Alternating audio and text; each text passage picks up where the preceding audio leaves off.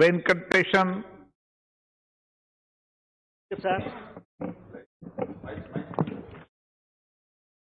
மருத்துவ கல்வியினுடைய உயர்கல்வி நீட் தேர்வில் ஓபிசி இடம் வந்து இல்லை என்று இன்றைக்கு அறிவிக்கப்பட்டிருக்கிறது. இது நாடு முழுவதும் ஒரு பெரிய அதிர்ச்சியை உருவாக்குகிறது. ஏறக்குறைய ஓபிசி பிரிவைச் சேர்ந்த மூவாயிரத்தி எண்ணூறு பேர் தங்களது வாய்ப்பினை இழக்கிற ஒரு சூழல். இதில் மிக அதிகமாக பாதிக்கப்பட்ட பாதிக்கப்படும் மாநிலமாக தமிழகம் இருக்கிறது. ஏனென்றால் மிக அதிகமான மருத்துவக் கல்லூரியை கொண்ட மாநிலம் தமிழகம். அதனால் அதிக இடங்களை மத்திய தொகுப்புக்கு கொடுக்கிற மாநிலமாக தமிழகம் இருக்கிறது.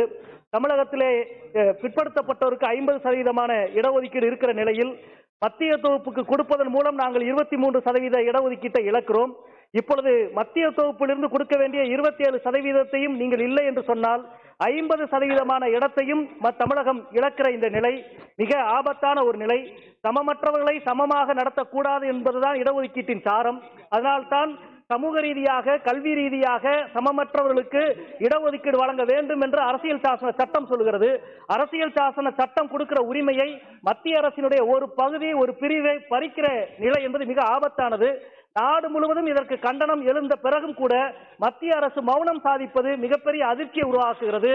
ஏறக்குறைய இடஒதுக்கீட்டையே கைவிடுகிற ஒரு நிலையை நோக்கி செல்வதற்கான ஆரம்பமாக இது இருக்குமோ என்று நாங்கள் அஞ்சுகிறோம்.